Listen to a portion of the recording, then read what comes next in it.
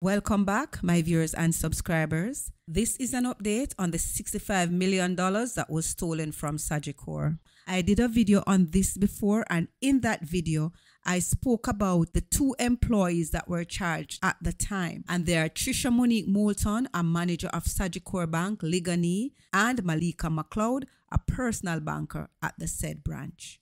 And today, guys, it has come to light that another employee has been charged and it is Alysia Moulton White, the sister of Trisha Moulton. Alysia Moulton was vice president of the group marketing at Sagicor Group Jamaica, and she, ha- she has been charged with conspiracy to defraud, unlawfully making available data or device for the commission of an offense, engaging in a transaction that involves a criminal offense, and receiving stolen property. And the sad thing about this, if you watch my first video, this money was not used in their lives in a good way.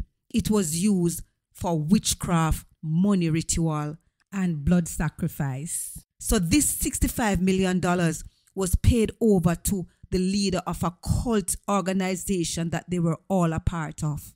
And the woman who is the leader of the cult is considered to be the female version of Kevin Smith. And guys, this is what the Bible was referring to when it spoke about spiritual wickedness in high places. Guys, I am going to link the video that I did about this topic before so you can go ahead and watch it. And remember guys, Sagicor is not the only place that have these persons who practice these kind of things. So make sure you pray up, fast up before you go your work.